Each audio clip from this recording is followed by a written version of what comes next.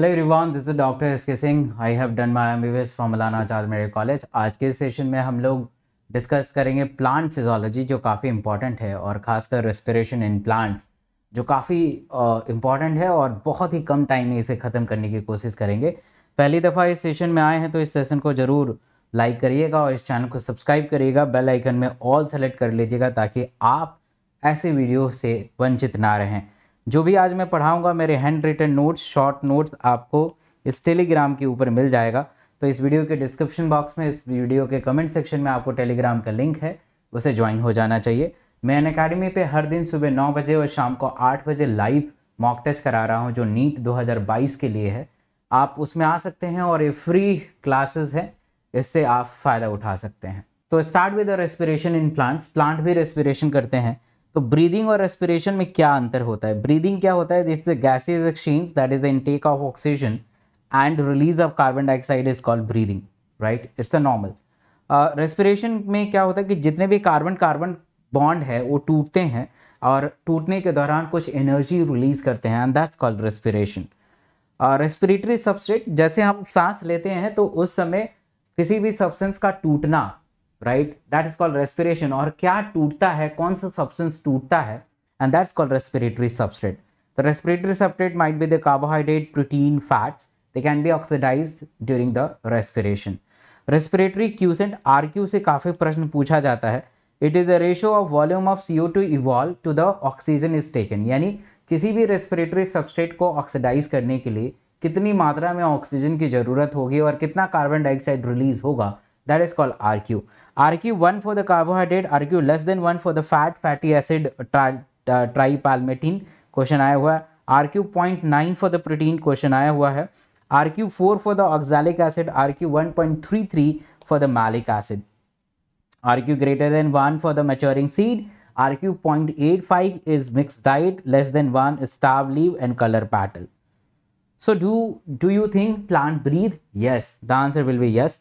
But हमारे तरह plant plant के पास कोई रेस्पिरेटरी ऑर्गन नहीं होता है। जैसे हमारे पास नॉस्ट्रिल है ट्रैकिया है लंग्स है, ऐसा तो नहीं होता है।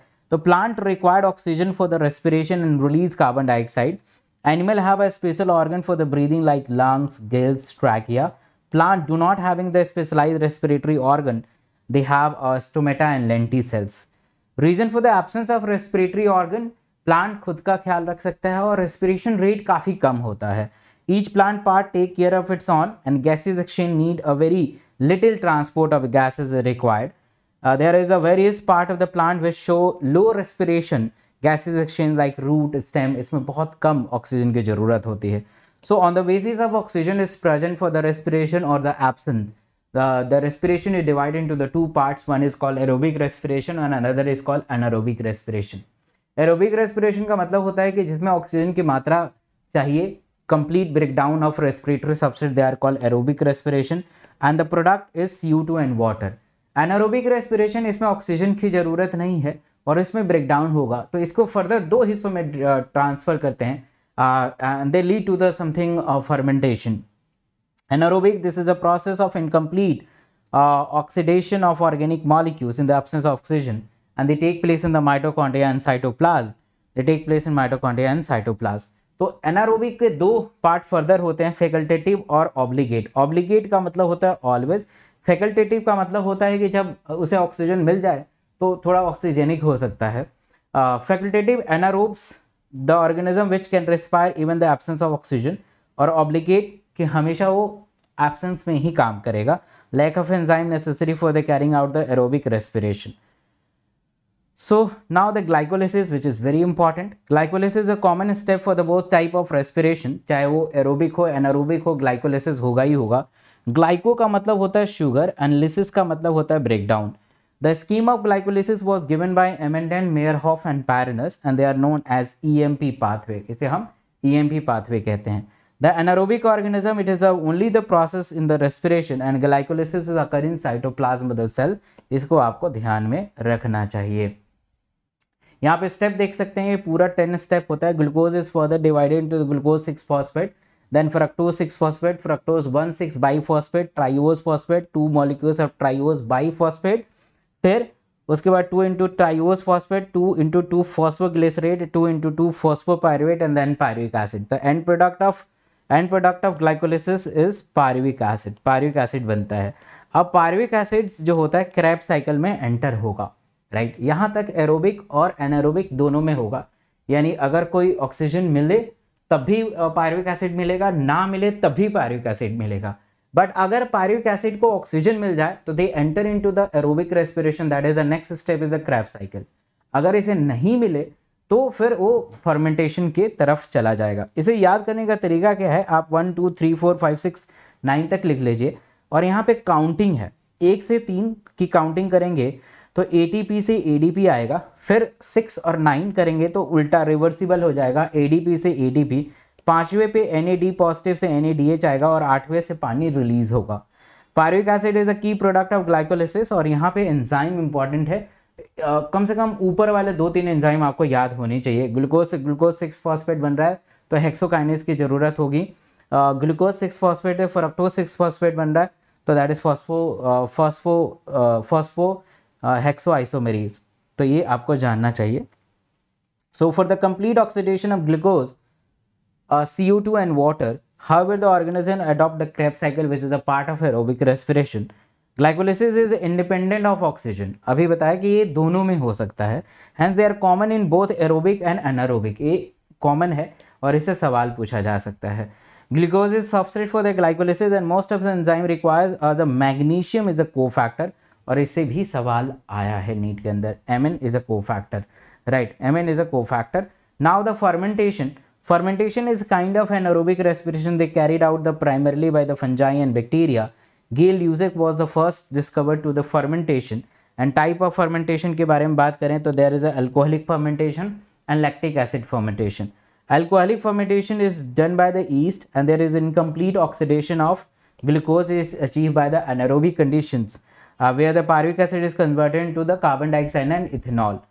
Lactic acid fermentation is more reported in animals. They are more reported in the muscles. अगर मसल को सही से ऑक्सीजन ना मिल पाए तो उसके अंदर लैक्टिक एसिड डिपॉजिट हो जाएगा तो acid is lactic dehydrogenase and Jadon they convert into the lactic acid net gain of both type of fermentation is two A चाहे वो लैक्टिक एसिड हो चाहे वो एल्कोहलिक हो alcohol fermentation result in release of C two along with ethanol तो while the lactic acid is produce only lactic acid only आप देख पा रहे हैं ग्लूकोज है, इसका एंड प्रोडक्ट जो है पायरिक एसिड आया। अब पायरिक एसिड को अगर पायरिक एसिड को अगर मान लीजिए ऑक्सीजन नहीं मिल पाता है तो या तो वो लैक्टिक एसिड बनाएगा, या तो इथेनॉल और कार्बन डाइऑक्साइड बनाएगा, और इसलिए फर्मेंटेशन के दो टाइप होते हैं।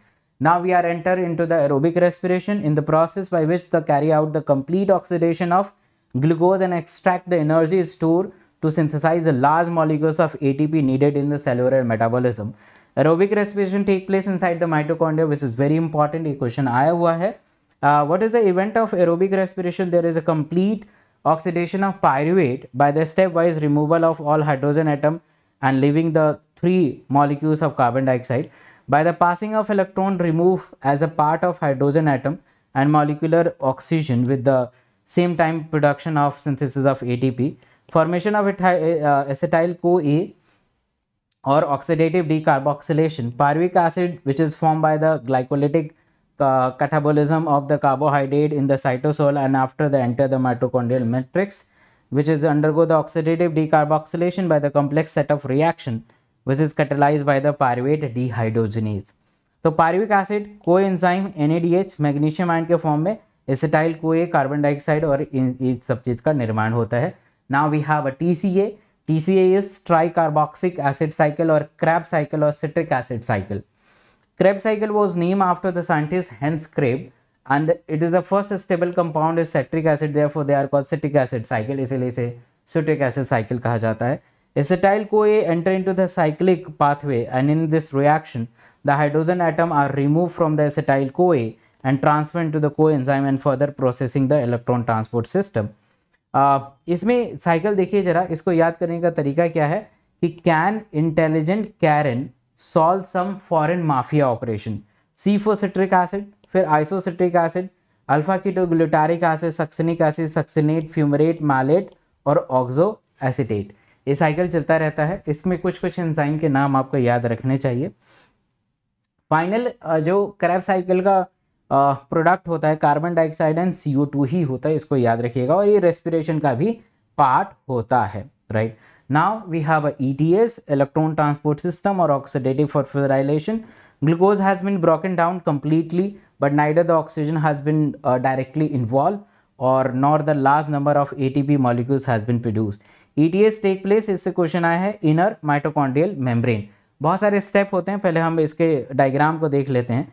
मैट्रिक्स में देख रहे हैं कि मैट्रिक्स माइटोकॉन्ड्रियल मैट्रिक्स में यहाँ से H प्लस आयन बन रहा है and they can enter into the inner mitochondrial matrix inner mitochondrial matrix में बहुत सारे इलेक्ट्रॉन ट्रांसपोर्ट सिस्टम है जो प्रोटोन को एक जगह से दूसरे जगह लेके जाते हैं and finally this proton keep accumulate inside the inner membrane space तो यही सारा चीज़ है। यहाँ पे देखेंगे कि इनर माइटोकॉन्ड्रियल स्पेस के ऊपर एफ़ नॉट और एफ़ वन पार्टिकल्स होते हैं। एफ़ वन के पास जो होता है एंजाइम होता है which is called A T P synthetase A T P synthetase होता है, जो ए डी पी से ए टी पी में कन्वर्ट करता है. And there is a production of A T P तो N A D P N A D H से तीन ए टी पी बनेगा और एफ़ ए डी एस से दो ए टी पी बनता है, इसको याद रखिएगा. पूरे रेस्पिरेटरी बैलेंस शीट को अगर देखें तो ग्लाइकोलिसिस से डायरेक्ट दो molecules of A T P बनेगा और दो molecules of N A D H two two into six six बनेगा. पारिक एसिड टू एसिटाइल कोयले से two two molecules of N और एन अभी बताया था कि तीन एक ए, एक में तीन होता है तो दो into three that is six six बनेगा। सिट्रिक एसिड में आप कैलकुलेट कर सकते हैं तो इसमें अट्ठारह और चार ठीक है बाईस टोटल और यहाँ पे दो चौबीस के आसपास तो टोटल काउंट करेंगे तो थर्टी एट के अराउंड जो है एटीपी पूरे एरोबिक रेस्पिरेशन में बनते हैं।